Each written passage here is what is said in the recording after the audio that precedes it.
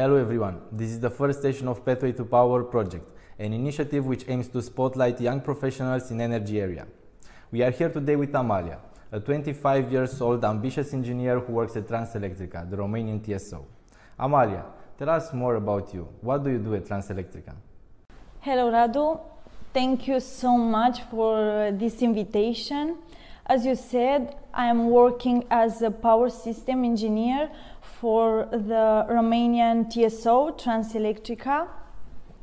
Uh, in Transelectrica, I deal with the connection to the grid of uh, new power plants that use um, renewable sources, new consumers, uh, and I give uh, certification for works in uh, TSO's installation, works determined by the connection in the distribution grid of new power plants or new consumers. In the same time, I am a PhD student at the Energy Engineering Doctoral School. In my PhD studies, uh, I'm developing a thesis about how to increase the resilience of substation to extreme weather events like hurricanes and floods as um, effects of um, climate change. I joined the CIGRE uh, Next Generation Network Romania because I believe in people and I think that uh, together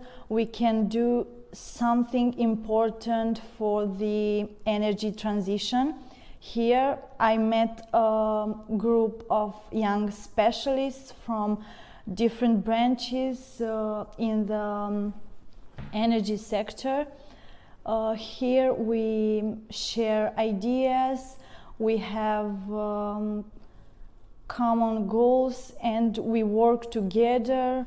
We want to um, develop new project uh, that matters in the power system. In CIGRE Next Generation Network Romania, I have the position of um, scientific committee leader uh, where I coordinate a group of nine people. We are um, a small team, but we have uh, very high goals. It looks like you're already involved in a lot of activities. Amalia, what, which is the biggest challenge you face in your professional life?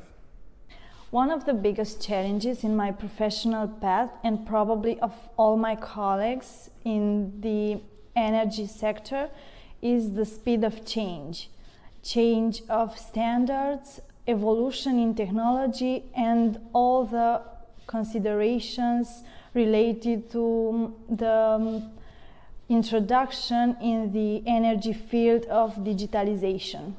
But these are just some challenges we need to keep up with. Yes, you're right. The energy sector is indeed a very dynamic field of activity. It looks like you're really passionate about your activity.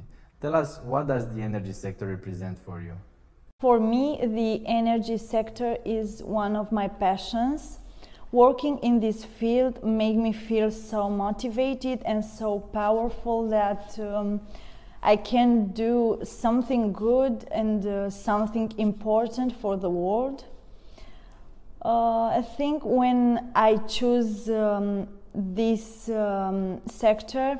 I didn't know enough about it, but a few years later, I can say that um, this was one of the best decisions of my life. Okay, and now please tell us, in your opinion, which is the main challenge facing the energy systems worldwide?